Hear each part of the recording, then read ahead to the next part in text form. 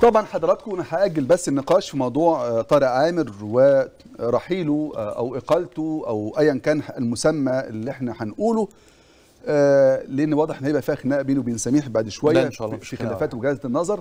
إنما خلونا نتكلم في المتفق عليه. المتفق عليه الآن هو ما يحدث في جزيرة الوراق. أعتقد لا يختلف مصري مع الآخر.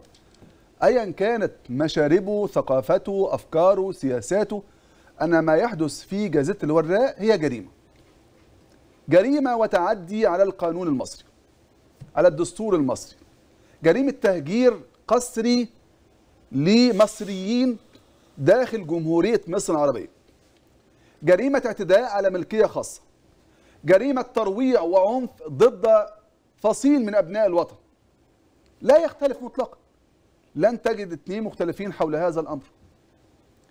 وكنا نتمنى في الحقيقة أن كافة التيارات السياسية الأحزاب السياسية مجلس النواب كل من يعبر عن المواطنين وعن الشعب يتكلموا قدامكم ناس بتنسحل في الشارع.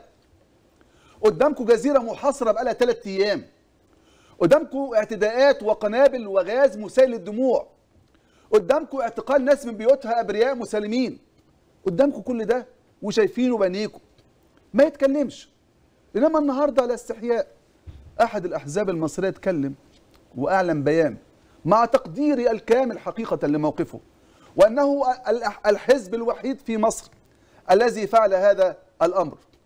إنما بلا شك أنه سوف يكشف دور باقي الأحزاب السياسية الذي رفع الراية الغضب والإدانة لما يحدث في الوراق كان حزب الدستور اللي أصدر النهارده بيان بشكل واضح جدا ويدين فيه الاقتحام الذي قامت به قوات الأمن لجزيرة الوراق وإلقاء القبض العشوائي على عدد من المواطنين واستخدام القنابل المسيله للدموع لتفريق السكان الذين تجمعوا رافضين المحاولات المستمرة لهدم منازلهم بالقوة. واستنكر حزب الدستور تكرار هذه الاقتحامات التي هددت حياة المواطنين منذ الاقتحام الأول الذي وقع في 2017 وأسفر عن وفاة المواطن سيد طفشان والقاء القبض على تسعة آخرين. طبعا أستاذ سميح يعني أعتقد هذا ال- ال- البيان مقدر جدا ومثمن جدا صحيح. من حزب سياسي مصري صحيح إنما أيضا كاشفا لتخاذل باقي الأحزاب السياسية كاشفا لتخاذل مجلس النواب كاشفا لتخاذل الشخصيات الوطنية الأخرى صحيح أستاذ أحمد في الحقيقة ال ال البيان ده مش بس بيفضح الحركة السياسية المصرية على مصراعيها في كل تياراتها للأمانة يعني. لا ده كمان بيضعنا أمام سؤال مهم جدا وهو آه، آه، آه، هو إحنا ليه يعني إيه علاقة الحوار الوطني؟ خد بالك إحنا عندنا حوار شعبي لكن ما زالت الدولة بتحافظ وبتدعي إنه في حاجة اسمها حوار وطني. إحنا نسينا الكلام ده في الحوار. آه إحنا نسيناه بس آه. هم مش ناسينه لأن ده الحاجة الوحيدة اللي عندهم. ما ما تخلينا نروح حزب الدستور افضل آه بس بس حضرتك لو بصيت على الأوضاع اللي موجودة آه، آه، آه، جوه الوراق إحنا بننقل صور وفيديوهات كأننا في حالة صراع. طبعا. آه، آه، آه، حرب ومعركه حرب صحيح. ما بين السكان المحليين وقوات الاحتلال. صحيح. إحنا ب- ب- في دولة يعرف فيها الجميع ما يحدث والجميع صامت.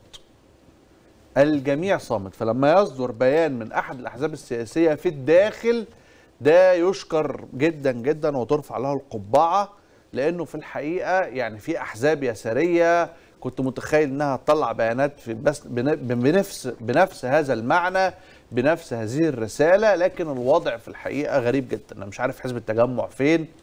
مش عارف الحزب ال ال الناصري فين أنا مش عارف آه، حزب الكرامة فين حزب الوفد فين؟ آه، آه، أنا مش عارف حزب الوفد فين أنا مش عارف أحزاب المعارضة فين من اللي بيحصل ده؟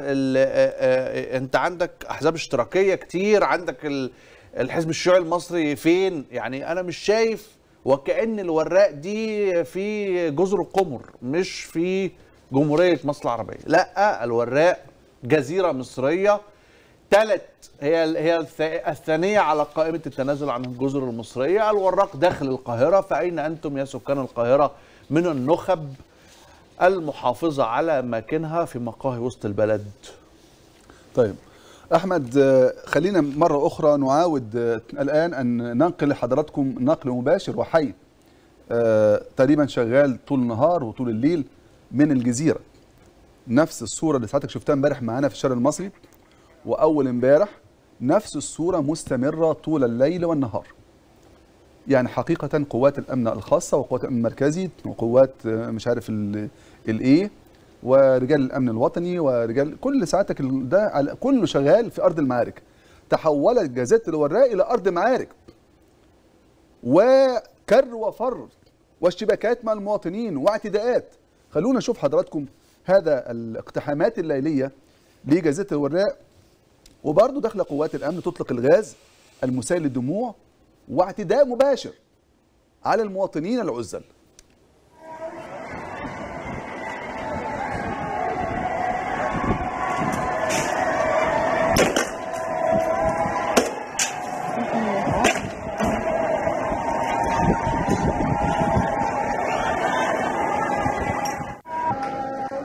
ده أذان العشاء؟ أذان العشاء آه. يعني حتى ده حتى هذه اللحظة. حتى اللحظة يعني أو مستمر الضرب قبل هذه اللحظة بقليل بوقت قصير في ده اللي بيحصل قدامك وده الناس بتضرب على الناس جوه البيوت وجوه الحواري وجوه وجوه وجوه وهم متخيلين إن هم كده الناس هتمشي ما فيش حد هيمشي وأنتم مش فاهمين اللي بيحصل. ما يعني على فكرة يا جماعة الناس دي مع يعني الناس دي ما عندهاش سمر هاوس فاهم أنت؟ الجو الأوروبي و... وعندهم حتة تانية يروحوها عندهم شقة تانية بتاعت أيام الفقر فدلوقتي نقدر نرجع لها. طيب الناس دي ما عندهاش حاجة خالص. ده اللي أنت شايفه قدامك ده كل ما يملكه من حطام الدنيا. ما ترى أمامك هو كل يملكه في هذه الدنيا. وأنت جاي تاخده. تخيل رد فعلهم هيبقى إيه يعني؟ حط نفسك مكانهم حط نفسك مكانهم خد بالك إن هم الناس بتتعامل برضو بقدر الإمكان في حدود الاعتراض والاختلاف والبتاع. مفيش يعني ده لو في الصعيد كانت بقت مجزرة. كانت بقت مجزرة لكل الأطراف يعني. ده إحنا غلابة في الوراق غلابة جدا جدا جدا مناضلين حقيقيين يدافعوا عن آخر شيء له علاقة بفكرة الملكية في حياتهم. مش فاضل غير الهدوم.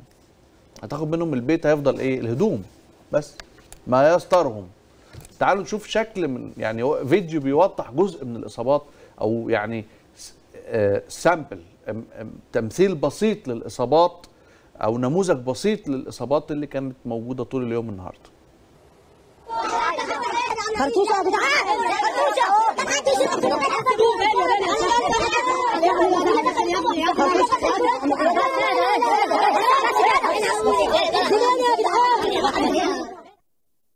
شيء محزن إن يكون دول مصريين يتم الاعتداء عليهم. خرطوش. خرطوش. أنا الحقيقة يعني بسأل ال- الجندي المصري ال- والقوات الأمنية الباسلة. وأنتوا داخلين معركة الوراق وتطلقوا النار على الخصوم والأعداء. أنتوا حضراتكم شعرتوا كده بنشوه الانتصار والبطولة؟ قواتنا الباسلة اللي هناك بتحارب على خط جزيرة الوراق. أخبار إيه؟ قدرتوا تقهروا الأعداء وتنيموهم في بيوتهم وت... وتروعوهم وتلقوا عليهم هذا كل هذا الرعب والقهر والذل عشان يخرجوا من بيوتهم. أنا حقيقي مش عارف الصورة أقولها إزاي.